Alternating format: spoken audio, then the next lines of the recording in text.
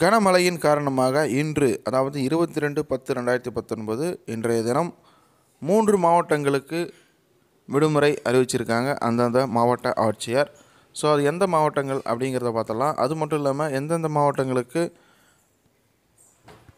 பள்ளிகளுக்கு மட்டும் விடுமுறை விட்டுருக்காங்க? எந்த மாவட்டத்திற்கு? பள்ளி மற்றும் கல்லூரிகளுக்கு விடுமுறை விட்டுருக்காங்க? சென்னையை பொறுத்த வரைக்கும் என்ன சொல்லியிருக்காங்க?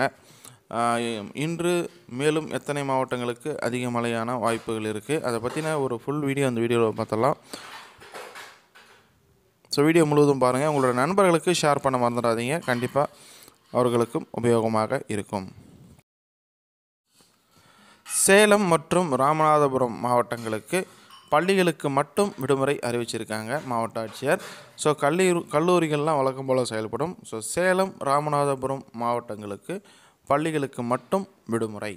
கனமழையின் காரணமாக.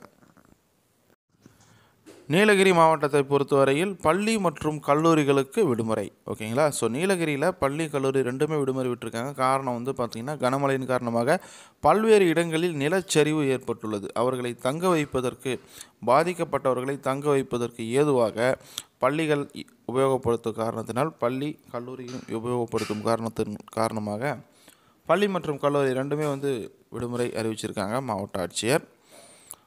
அது மட்டும் இல்லாமல்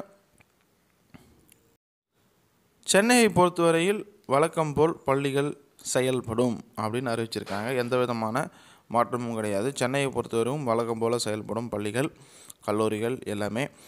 இன்று வந்து ஒரு இருபது மாவட்டங்களுக்கு கனமழை பெய்வதற்கான வாய்ப்புகள் இருக்கிறதா அனௌன்ஸ்மெண்ட் வந்திருக்கு. ஸோ அந்த இருபது மாவட்டங்கள் கனமழை இருக்கும் இன்றைய தினம்.